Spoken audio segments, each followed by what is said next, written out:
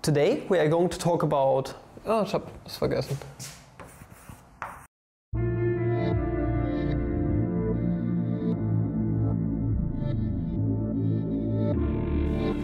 Good morning fellow mathematicians, welcome back to another video. Today we are going to talk about complex numbers, but different yet again, especially generalized complex numbers and, well, operations on complex numbers. We are going to dive right in. It's going to be, um, yeah, some handworky stuff, okay? A lot of handiwork needed right here, a bit of calculations. We are going to dive right in, okay? Now, we know by now that the imaginary unit i can be constructed like this right here, this 2 by 2 matrix, and it has two peculiar properties, namely that i squared is equal to negative the identity matrix, and i is an orthogonal matrix. Why does it make sense for it to be an orthogonal matrix? You are going to see in the next episode and kind of at the end of this episode. Okay, we are going to construct ourselves generalized complex numbers now. How are we going to do that? Well, we are going to use the property that we can do pointwise addition on matrices. At first, I would like to continue where I ended up last video, namely, I said that we can construct ourselves real numbers in matrix form. Namely, A times the identity matrix in two dimensions is thus equal to A, 0, 0, A. This is where we left off. Now, we could add this stuff to here, but then we wouldn't really have any real number entries right here, only this one, okay? We are going to multiply our i by some real number b, okay? a and b are real numbers in this case, and are going to end up with 0, negative b, b, and 0. Now, if we add those two together, it's defined pointwise, we're going to have a plus 0 is a, 0 plus negative b is negative b, blah blah blah. I hope you can see the pattern. We can define ourselves generalized complex numbers. We have that some complex number, capital Z, okay, capital Z just because we are dealing with matrices, is thus a times the identity matrix in two dimensions plus b times i, and thus it's nothing other than a, negative b, b, and a. Those are our complex numbers. This is how they look. They are beautiful. They are absolutely nice. They look kind of anti-symmetric. Okay, they are just oh, sexy as fuck. Okay. Now, we can construct ourselves this way the set of complex numbers, meaning it's just the set of all the matrices of this form with a and b being real numbers. Let us formulate this. The set of complex numbers, I'm going to call it capital C, is thus the set of all the matrices a, negative b, b and a, such that a and b are out of the real numbers. Yes. Generalized complex numbers, and we can work with those, okay? Now we can take a look at operations. What happens if we add two complex numbers together? Is this still element of the complex numbers, of the set of complex numbers? Or what happens if we multiply two complex numbers together or divide by a complex number. What even does it mean to divide by a matrix? Okay, this is weird. We're going to take a look at that. Also, one more definition I would like to bring in is the notion of real and imaginary part of complex numbers. The real part is simply the real entry of our complex number. Okay? We're going to denote the real part as RE or just as quickly R, however you prefer it. It's nothing other than A times the identity matrix. Now the imaginary part, it sounds like, well, by this logic we just take V times the, ident uh, times the imaginary unit. No, this is not something we do. The real and imaginary parts are real operators, meaning we want to have the imaginary part to be of this form yet again. How can we get there? Well, I want you guys to remember something out of the regular real numbers. If we only have one apple, then we only have one apple, okay? 1 times something is just a something in itself, meaning we can express b times i as nothing other than b times the identity matrix times i, because the identity matrix times i is just i in itself. And this thing right here is just our imaginary part, im of z being thus b times the identity matrix. Meaning our complex numbers in itself, those right here, can be expressed like this, z being equal to the real part of z plus i times the imaginary part of z. Those are complex numbers. This is just how it works. Also, two more little side notes. A complex number is exactly zero if and only if a and b are zero. I, I hope this makes sense. If we plug zero into here, that's just the number zero in matrix form, basically. Okay, it's the zero matrix, the null matrix. A and b must thus be equal to zero for us to get the zero matrix. Also, two complex numbers are exactly equal if and only if their entries are equal. Okay, if we compare complex number z1 with z2, then we must have A being equal to C and B being equal to D in this case. Okay, all the entries must be equal. This just stems from the fact that two matrices are exactly equal if and only if their dimensions are equal and their entries are equal. With that out of the way, let us go for, well, addition, multiplication, subtraction and division, okay, on complex numbers. And let's see if after proceeding with all of those operations, we are still in the complex numbers which in, with each and every part.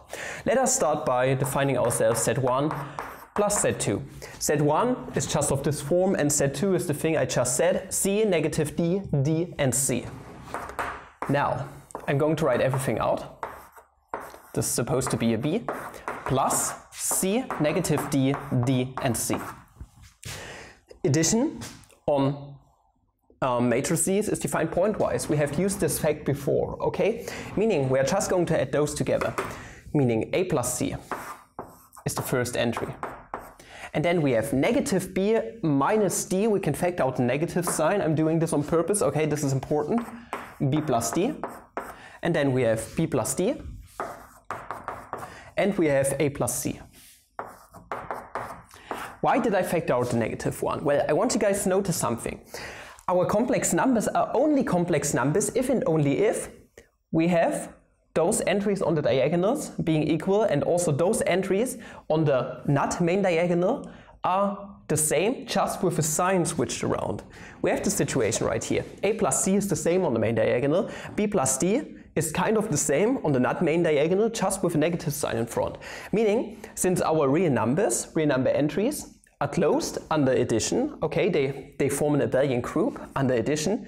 A plus C is also just a real number, and B plus C is also just another real number, satisfying this condition yet again, meaning overall our z1 plus z2 is yet again element of the complex numbers.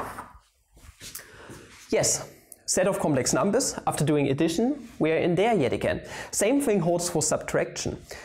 Real numbers form a group.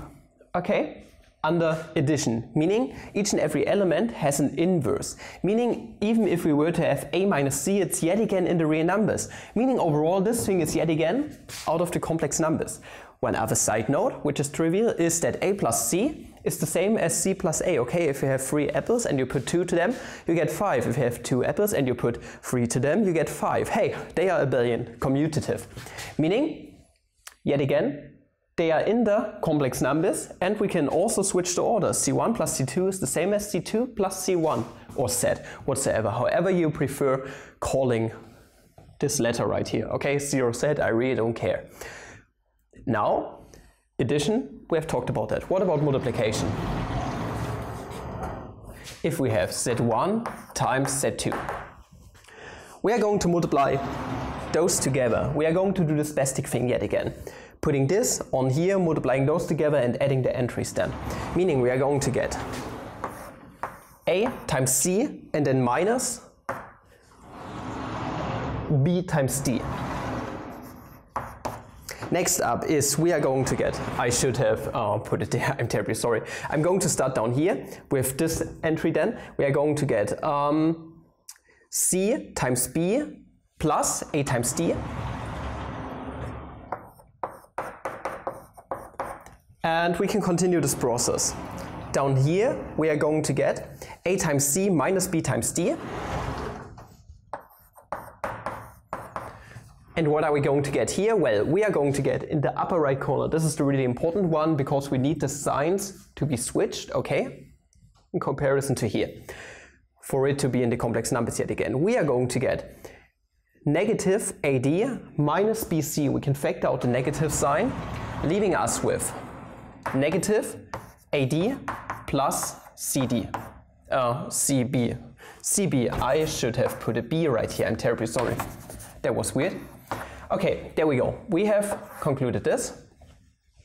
And now, what can we say about it? Well, real numbers, real number entries are closed under multiplication, meaning 2 times 3 is 6 is yet again in the real numbers. Also they are closed under addition and also under subtraction you could say, meaning this is a real number entry, this is a real number entry, those two are the same on the main diagonal. This is going to be a real number entry and this thing right here is also going to be a real number entry with the signs being switched, meaning it's once again element of the complex numbers. Also, real numbers form an abelian group, meaning it doesn't matter if we have a times c or c times a. This stuff in here is abelian, meaning Z1 times Z2 is the same as Z2 times Z1. We, once again, have an abelian property on multiplication. Now what about division? This is the weird one, okay? What does it mean to divide two matrices? This is weird, no one does this, okay? We are going to put it differently. We are going to say, just like in the real numbers, if we have 3 over 4, this is the same as 3 times 4 to the negative 1, the multiplicative inverse. So z1 times z2 to the negative 1 power. I'm going to have a video out on the second channel, on the trivia channel, how to arrive at the inverse of a 2 by 2 matrix. Or I should rather say, we're going to prove that something is indeed the inverse. Now, this is going to result in z1 Okay, um, I'm, I'm going to write it out, meaning it's a negative b, b and a, times the inverse of this thing is nothing other than 1 over the determinant of Z2, and then times the transpose of this thing. Okay, it's going to be C, C, D, and negative D. I said this is the transpose, meaning we can write it as Z1 times the transpose of Z2 over the determinant of Z2. Take a look at brilliant.org, for example, to learn about matrices a bit more, okay? This video isn't sponsored by Brilliant, but it's a really nice website, okay? Go check them out. Now, what can we say about this? Well, this is just a scalar, we can bring it to the front. Then we have the multiplication of two complex numbers. This thing right here is just a complex, numbers yet, uh, a complex number yet again. We're going to talk about this thing especially in the next episode, okay? It's called the complex conjugate. It's really important. Now, if we bring this to the front, those two multiplied together are just a complex number yet again. And then complex number times a real number, well, it really doesn't quite matter because we can just multiply it in here and it's going to result in real number entries yet again with the condition that the signs on those two are switched. Meaning overall, this stuff is yet again element of the complex numbers. And once again, um, it's basically a abelian, so Z1 times Z2 inverse is the same as Z2 inverse times Z1. Okay, it really doesn't quite matter. Those commute. This is it. This concludes the second episode. Is there anything more I would like to add? No, not really. This right here is extremely important. The determinant is also extremely important. We are going to talk about the determinant episode 4 or something, okay? It has to do with the geometric interpretation of complex numbers. I thank you guys for watching. If you enjoyed this video, please like and subscribe, recommend channel if you like, if you want to support channel a bit more, buy those teachers I create or support channel on Patreon. Up until the next video, have a complex day. See ya, ciao.